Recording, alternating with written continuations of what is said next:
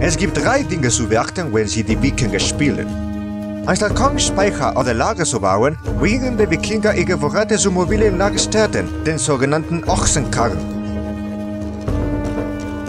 Ochsenkarren können im Dorfzentrum ausgebildet und an fast alle Punkte auf der Karte gesendet werden. Ein weiterer Unterschied besteht darin, wie die Wikinger die Gunst der Gute erwerben. Anstatt zu ihren Guten zu wetten, gewinnen die Wikinger ihre Gunst in der Schlacht. Sie kämpfen einfach um ihre gute Wohlsystem. Immer wenn ein nördlicher Krieger etwas im Spiel bekämpft, erholt sich ihre Gunst.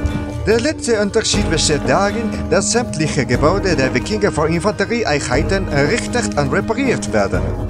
Sammler haben bei den Wikingern nur die Aufgabe, Felder umzulegen und Rohstoffe zu sammeln. Alle nördlichen Infanterieeinheiten können Gebäude errichten und reparieren.